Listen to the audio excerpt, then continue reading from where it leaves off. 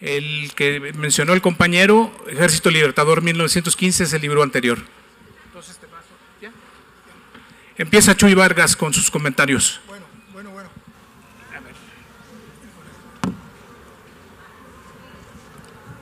Bueno.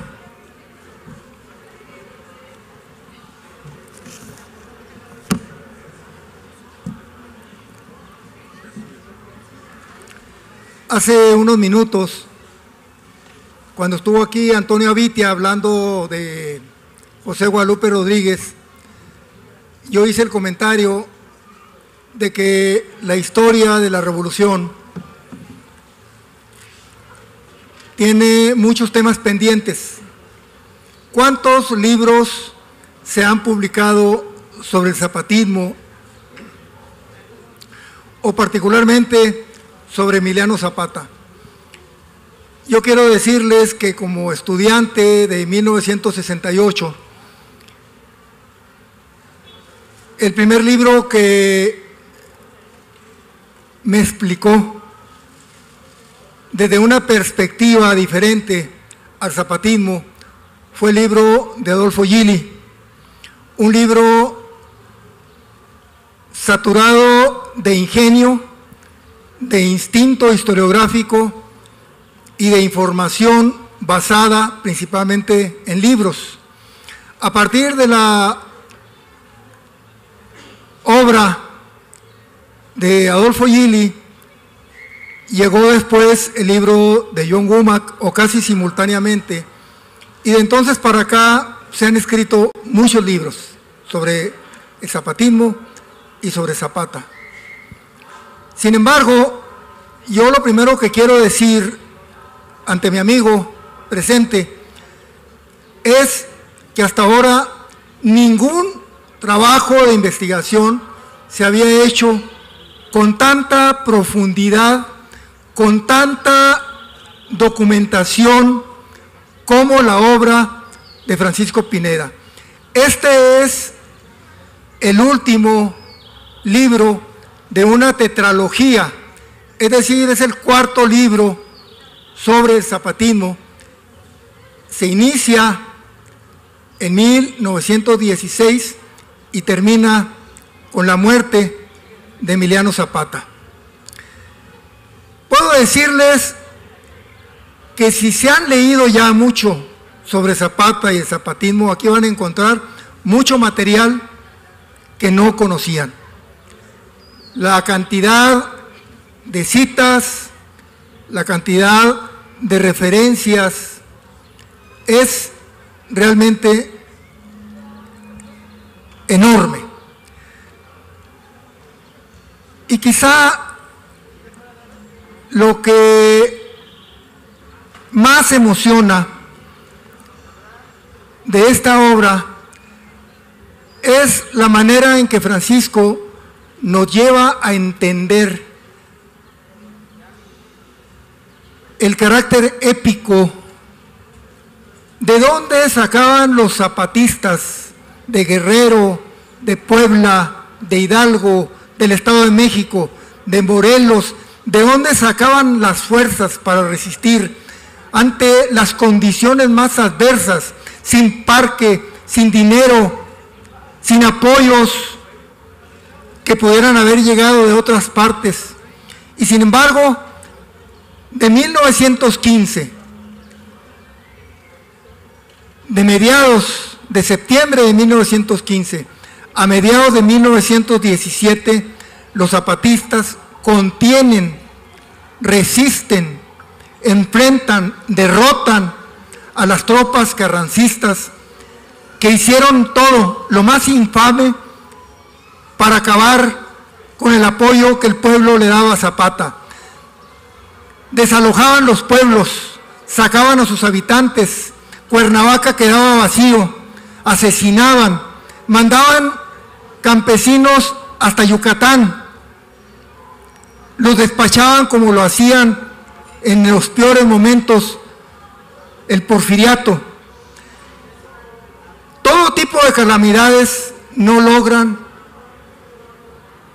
contener, no logran derrotar, no logran terminar con la revolución zapatista. Yo hace, viniendo del norte, conociendo un poco el villismo,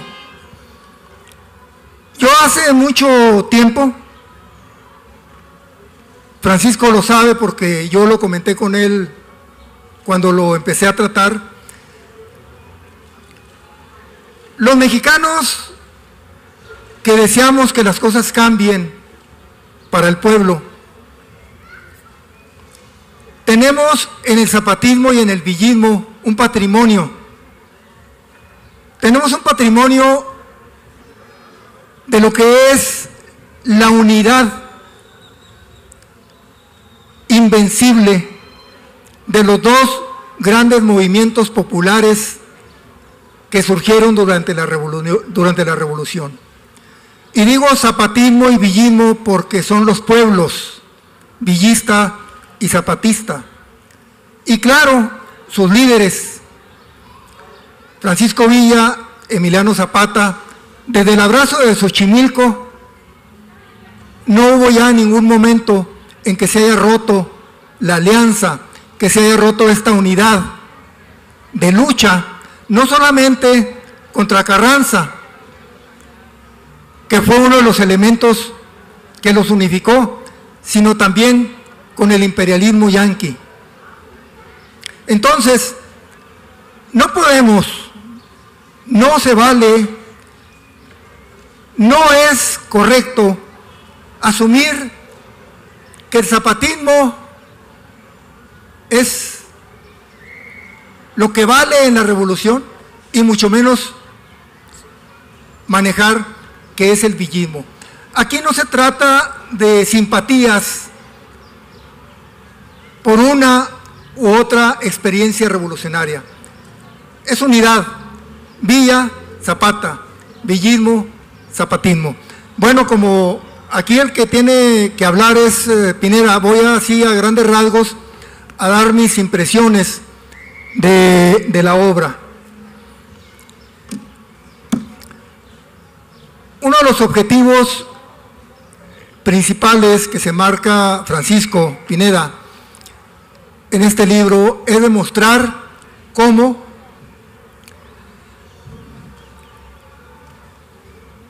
al iniciarse el año de 1916, Venustiano Carranza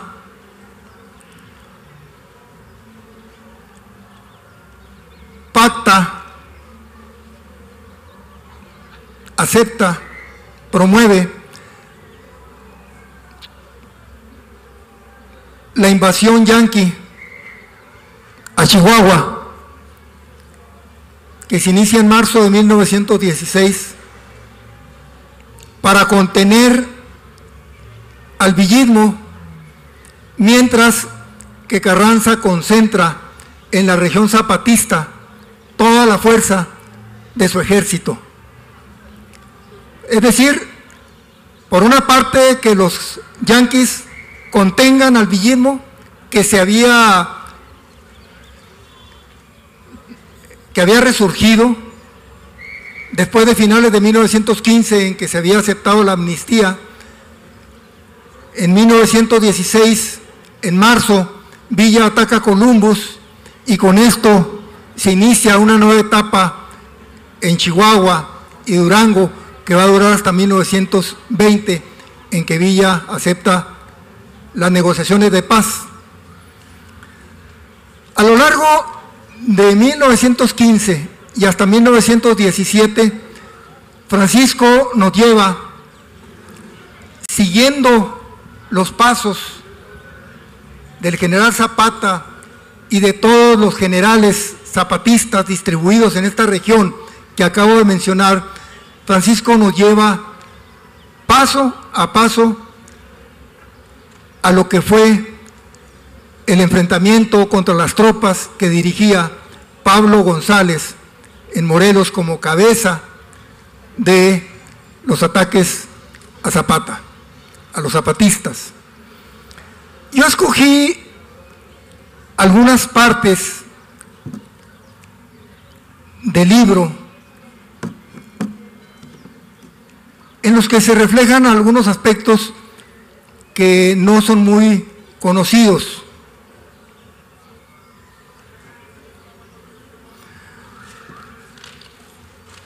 Francisco encuentra algunas mujeres zapatistas que fueron muy importantes. Y a mí me conmovió Petra López, viuda de Noriega, una mujer revolucionaria que siendo dueña de una hacienda, con su hijo y sus hijas, se convierte en uno de los apoyos muy importantes de Zapata. No voy a leer lo que había subrayado porque creo que no es prudente leer muchas cosas, pero la historia de esta mujer, de sus hijas y de su hijo, reflejan mucho la profundidad que tenía la relación de Zapata con el pueblo. Ella era originaria de San Luis Potosí y desde allá sirvió de correo, de apoyo, en todos los sentidos, con sus recursos, para apoyar el zapatismo. Hay una carta que a mí me conmovió especialmente, donde Juan López le escribe al general Zapata el 4 de octubre de 1915, Señor, habiendo perdido dos hijos en el combate de Puebla, el primero en el Cerro de Guadalupe y el otro en Chimalhuacán, a más, como nos sacaron de nuestro pueblo, ahora me encuentro en la villa con mi familia enferma, pues lo que gano no alcanza para cubrir mis gastos, pues está muy claro todo. Le suplico a usted, señor general, me socorra con algo yo ya estoy sin qué ponerme y quisiera yo una poquita de mantita para poder cubrir mis carnes. Usted habrá de perdonar mi necedad, pero es verdad que lo necesito. Sin más, por ahora me repito de usted, su más atento subordinado Juan López. De este nivel era la situación, a más de lo que era la falta de alimento, la falta de medicinas, la falta de seguridad. En 1916, cuando la ofensiva carrancista encuentra el rechazo de los zapatistas, se empieza a fraguar una nueva estrategia para introducir en las filas zapatistas las defecciones. Y en este sentido, para 1917 vamos a encontrar que la situación es tan grave en las filas del zapatismo, no pueden conseguirse parque, no puede conseguirse recursos para poder enfrentar eh, todas las campañas que constantemente está lanzando el carrancismo. Fíjense, de septiembre de 1915 a septiembre de 1917, el Ejército Libertador realizó 1.325 combates bien identificados en 12 entidades federativas de la República. En el Estado de México, 350 combates de armas. En Morelos, 324 en Puebla 265, Distrito Federal 150, Guerrero 96, Veracruz 60, Oaxaca 39, Tlaxcala 15, Chiapas 12, Hidalgo 11, Querétaro 2 y San Luis Potosí 1. Estas cifras, sin embargo, son incompletas. La información de los combates zapatistas en Michoacán, realizados por las fuerzas al mando del general Eutimio Figueroa, no pudo obtenerse en los archivos consultados. Hay muchas personas que piensan que durante esta época prácticamente el zapatismo había quedado derrotado. Con esta información a la cual Francisco le va dando seguimiento paso por paso, nos damos cuenta que a pesar de todas las desventajas, todas las deficiencias por falta de parque, como les digo, los zapatistas encontraron la manera de mantener la lucha en toda la zona donde tenía actividades. Una de las grandes pérdidas que tuvo el zapatismo fue la muerte de Eufemio Zapata.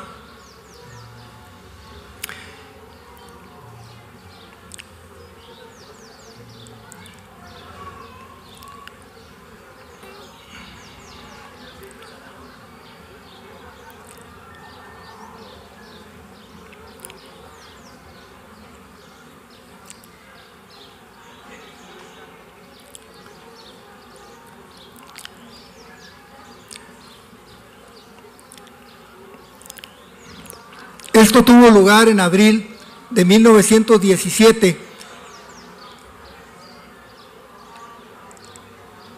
y tuvo como secuela precisamente la introducción en las filas de zapatismo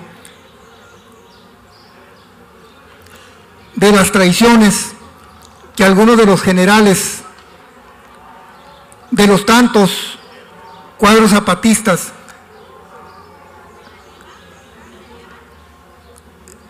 aceptaron hacer una negociación con el carrancismo.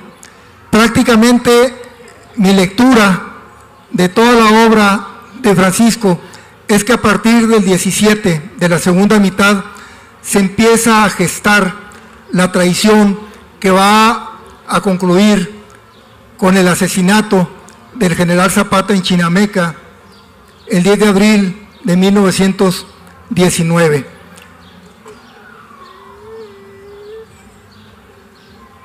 No me quiero extender eh, mucho, no me quiero extender más en mi intervención. Eh, prefiero dejarles a ustedes sembrada la proposición de que este libro se debe de leer para entender mejor la Revolución Mexicana. Por este libro desfilan muchos personajes y yo me encontré algunas verdaderas sorpresas. Les digo una, por ejemplo, en abril de 1919, en marzo de 1919, semanas antes de la muerte de Emiliano Zapata, él redactó un manifiesto que se publicó en Chihuahua. Para mí fue una sorpresa encontrarlo en el periódico El Correo de Chihuahua, porque Zapata se lo envió a Silvestre Terrazas, eh, el redactor, no del Correo de Chihuahua, de La Patria, que se editaba en El Paso, donde convoca a todos los mexicanos a unirse en torno a Francisco Vázquez Gómez. Francisco Vázquez Gómez había sido el candidato a la vicepresidencia de la República con Madero cuando se funda el partido antireeleccionista. Posteriormente, en 1911, Francisco Madero cambia la fórmula y propone que sea Pino Suárez. Precisamente este cambio fue el origen del conflicto con los revolucionarios chihuahuenses que no estuvieron de acuerdo. Pero bueno, a mí me llamaba, me llamaba mucho la atención que después de ocho años el general Zapata le daba toda su confianza a Francisco Vázquez Gómez y me encuentro con la explicación documentada que presenta Pineda donde muestra que al general Zapata le había faltado información de que en 1911 Francisco Vázquez Gómez había estado a punto de asesinarlo en una emboscada. Este tipo de cuestiones son muy importantes porque nos permiten entender cosas que sin una investigación minuciosa no se pueden entender. Como estos eh, asuntos, la forma en que Guajardo se gana la confianza del general Zapata y de los zapatistas, eh, usando, por ejemplo, una de las acciones de Guajardo días antes de la entrevista que iba a tener con el general Zapata fue pasar por las armas a 300 soldados carrancistas que estaban bajo las órdenes de Guajardo. Y para mostrarle a Guajardo que realmente era en serio su decisión de unirse a Zapata, los pasa por las armas, así, nomás sin ninguna otra razón más de que para convencer a Zapata. Vamos a encontrar aquí también eh, una carta que Francisco Villa le dirige en 1916 al general Zapata, donde le reitera su lealtad con un sentimiento eh, indiscutible. Y vamos a dar un seguimiento también de algunos revolucionarios del norte que se juntan a las filas zapatistas. En general, la obra de Pineda, los cuatro libros, y con este que concluye, es el estudio más completo que se ha hecho sobre la epopeya del zapatismo en la Revolución Mexicana de 1911 a 1919. Muchas gracias, Chuy. Y muchas gracias por la invitación. Es un gusto estar con ustedes aquí en Azcapotzalco. A manera de saludo, quisiera hacer dos referencias a la lucha zapatista en este pueblo.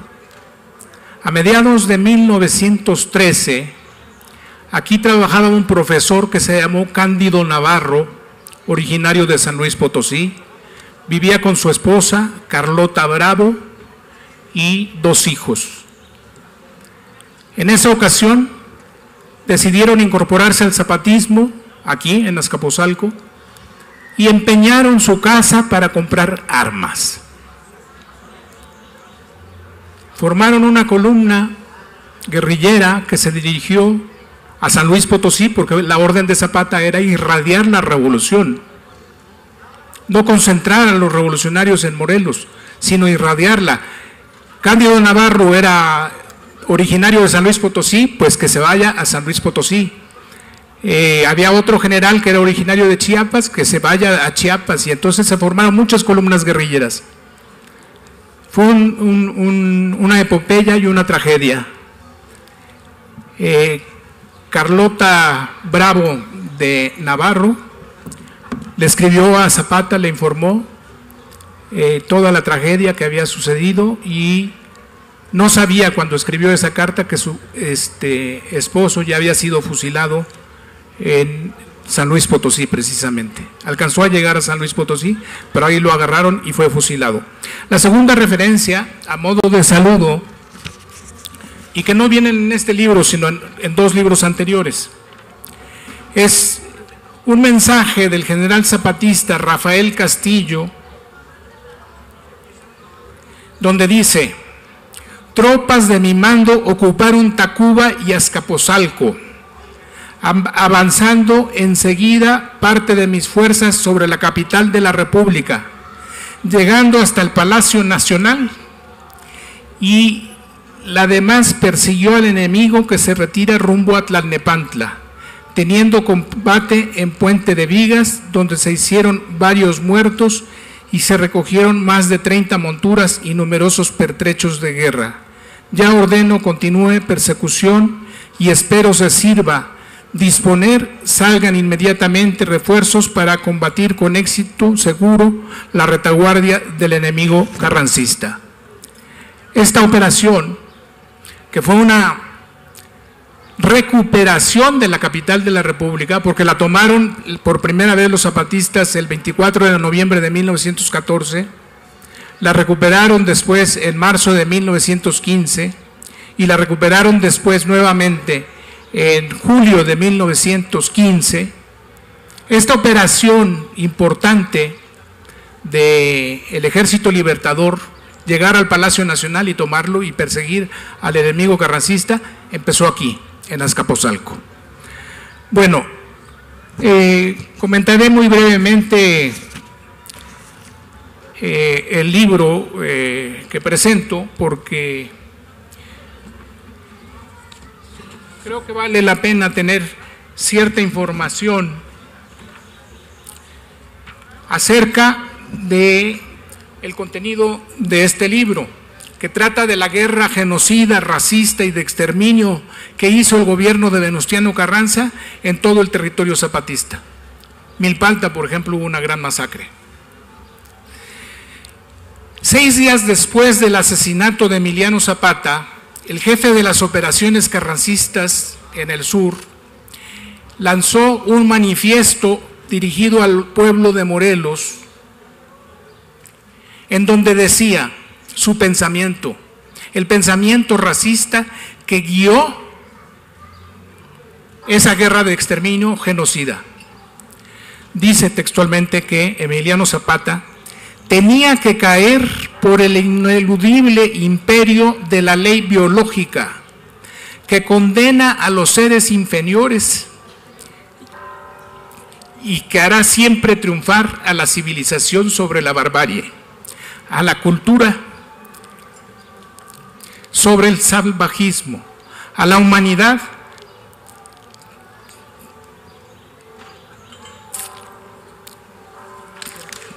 sobre la bestialidad. Para el jefe de la guerra de exterminio, de la guerra genocida, Zapata fue la encarnación de la más Zapata fue la encarnación de la más estúpida barbarie. Tuvo una vida miserable y vulgar. Y por su cretinismo congénito, por su absoluta inferioridad mental, fue simplemente un bandolero, un azote maldito de, su propia tierra.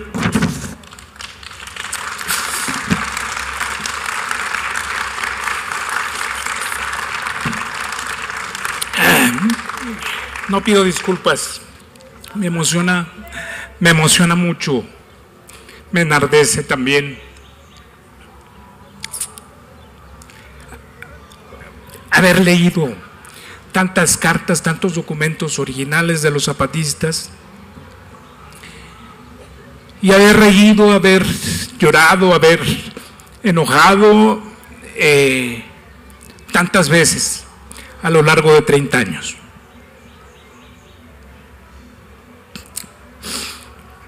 Quiero referir también por eso que el hecho historiográfico más importante, en mi opinión, es que unos jóvenes estudiantes a mediados de los años 70 rescataron las palabras de los zapatistas en documentos escritos, en canciones y en testimonios orales, es decir, en entrevistas directas con sobrevivientes zapatistas de distintos rumbos, de Guerrero, de Morelos, de Puebla, del Distrito Federal, etc.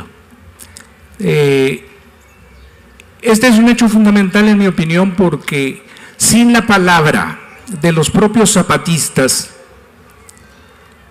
¿cómo se podría estudiar la epopeya que realizaron? Imagínense ustedes que estudiáramos lo que aconteció el 2 de octubre a partir de las fuentes de Gustavo Díaz Ordaz y de la prensa oficialista. ¿qué resultaría? Pues así se había escrito la historia del zapatismo anteriormente, con referencias de la prensa enemiga, de los documentos enemigos, etc. Claro, con, alguna excepción, como es el caso que mencionó de Adolfo Gili, que se basó mucho en el libro de Gildardo Magaña, que fue un general zapatista. Pero en general la, opinión dominante que existe acerca de el zapatismo está construida con las fuentes de sus enemigos. y al estudiarla con las propias palabras zapatistas, el resultado es completamente sorprendente. Yo me, me, atrevo a decir que ese es el hecho historiográfico más importante, rescatar la palabra misma de los zapatistas. Por cierto, hace unos dos meses, no, el mes pasado, el Instituto Nacional de Antropología e Historia, donde yo trabajo, publicó en Internet los testimonios orales de los zapatistas que fueron entrevistados en los años 70. Están disponibles en la dirección de Internet que es estudios históricos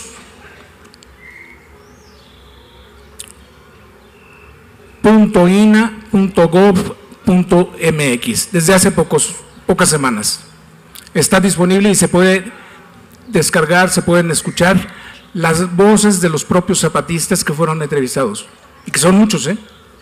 Yo participé en los años 90 en la digitalización de las cintas que se habían grabado y resultaron unos 500 discos compactos. ¿eh?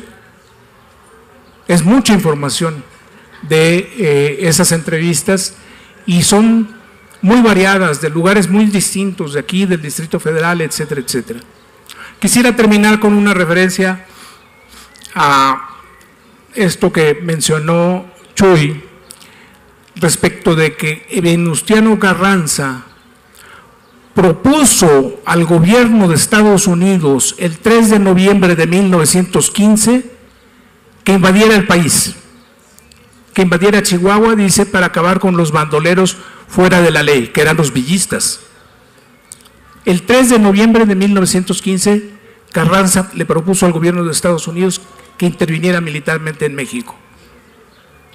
Y no solo eso, ya que la intervención se realizó en marzo de 1916, con el pretexto del ataque de, Pancho Villa en Columbus, ya que se realizó la intervención, el gobierno de Venustiano Carranza colaboró operativamente con el ejército invasor. Por ejemplo,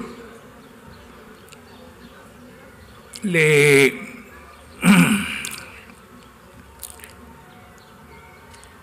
hicieron un acuerdo secreto, y eso está en los documentos históricos del Departamento de Estado, que también estudié, hicieron un acuerdo secreto para que el ejército invasor utilizara los ferrocarriles de Chihuahua pero con la idea de que las tropas invasoras que operaban los ferrocarriles se disfrazaran de civiles.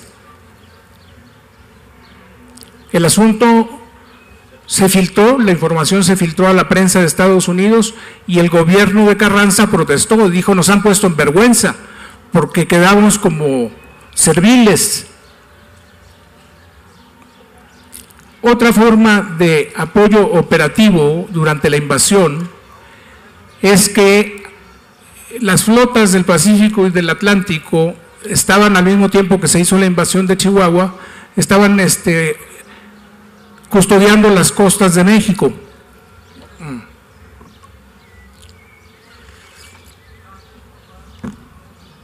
Estaban custodiando las costas de México. Entonces, a veces les fallaban las comunicaciones inalámbricas, o sea, de radiotelegrafía, de los barcos que estaban, por ejemplo, en Tampico y no se podían comunicar con los que estaban en Puerto Progreso, en la península de Yucatán, o este, con Coatzacoalcos, etc. Entonces, Carranza les facilitó las comunicaciones retransmitiendo los mensajes codificados de la Marina de Guerra de Estados Unidos a los barcos que este, no alcanzaban a llegar las señales.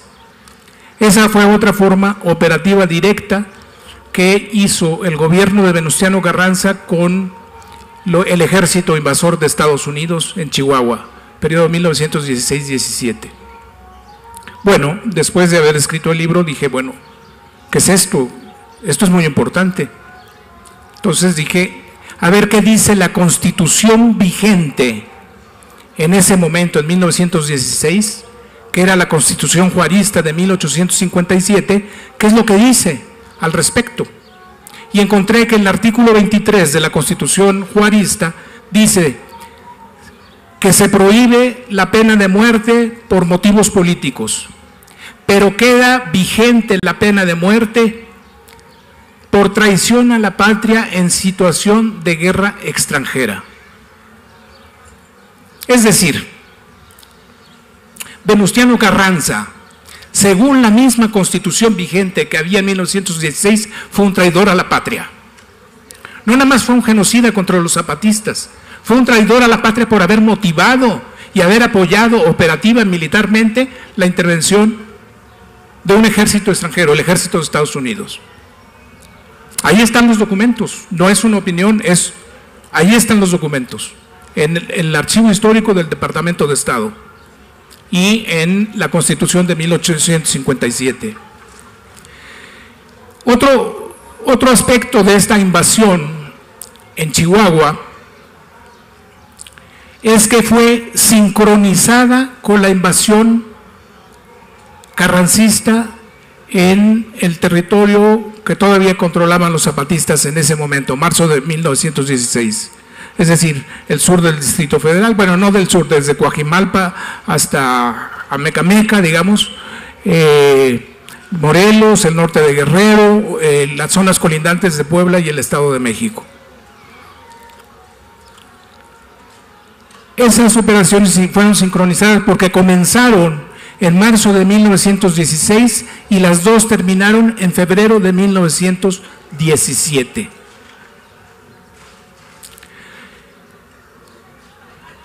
Desde el punto de vista militar, desde el punto de vista operativo, la intervención del, del ejército de Estados Unidos invadiendo Chihuahua le posibilitó a Venustiano Carranza trasladar tropas del norte, especialmente del estado de Coahuila, hacia el sur para llevar a cabo la campaña militar contra los zapatistas.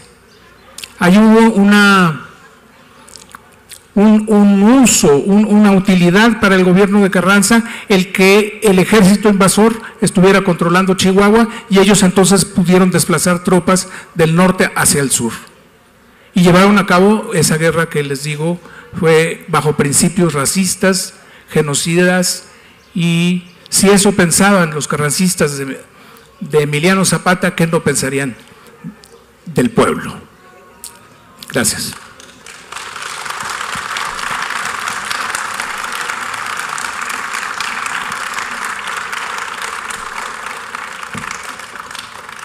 Me equivoqué ahorita por un año. La carta de Villa Zapata fue de mayo de 1917.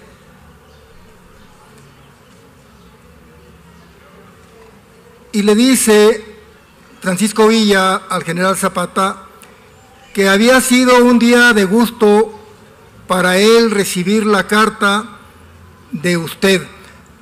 Esta es la información que le está dando la persona que recibió el mensaje del general Villa para el general Zapata. que el abrazo que se dieron en Xochimilco los unirá hasta la muerte, que él mismo dictó la contestación a la carta de usted, la que dice poco más o menos que no tenga usted cuidado respecto a los políticos como Roque González Garza, que ya los tiene bien conocidos, que no permitirá que nadie vaya a hacerle chisme de usted, y dijo verbalmente el general Villa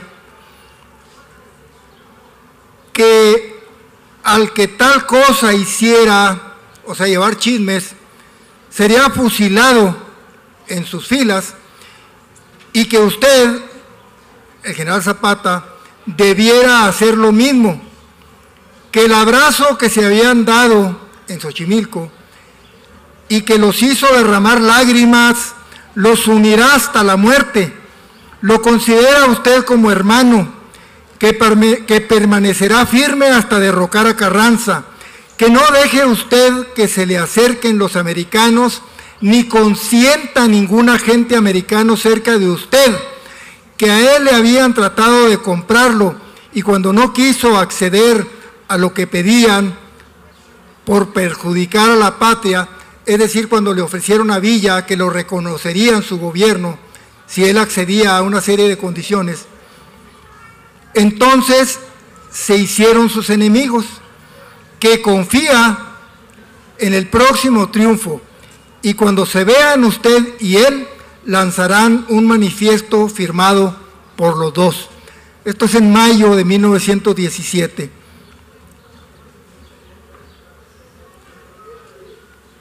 Creo que solo me faltaría comentar, reiterar algo que no mencioné en el principio, pero que ya lo dijo ahorita Francisco.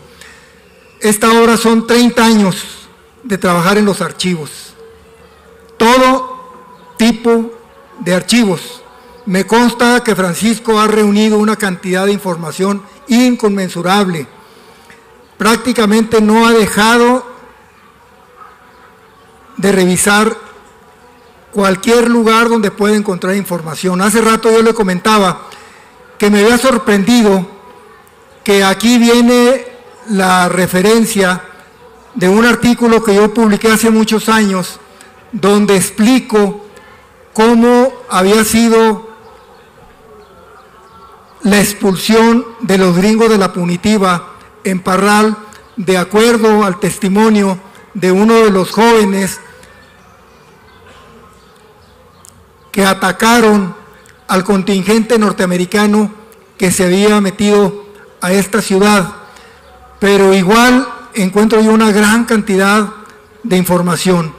Y yo le pregunté a Francisco cuándo había él sentido la atracción por lo que fue esta parte de nuestra historia, es decir, la historia del zapatismo. Me dice él que desde 1970, con un grupo de jóvenes como él, habían formado una especie de brigada Emiliano Zapata. Después, el 10 de junio de 1971, Francisco le tocó estar en el halconazo de San Colme y desde entonces su conciencia social, su conciencia política, lo condujo a que aproximadamente a finales de los años 80 empezara con esta historia. Y en ese sentido puedo decir que me identifico plenamente con Francisco, porque a mí lo que me condujo a la historiografía, a la investigación de la historia, fue el movimiento del 68. Él es menor que yo y lo que lo condujo a estar aquí en este momento presentando esta grandiosa obra fueron los acontecimientos del 10 de junio. Muchas gracias.